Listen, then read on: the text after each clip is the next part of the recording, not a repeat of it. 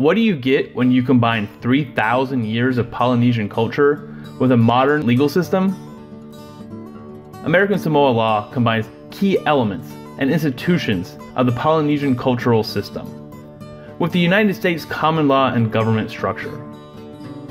And together they create a hybrid legal system unique in the world. And because of its ties to the United States, working in American Samoa provides exciting opportunities.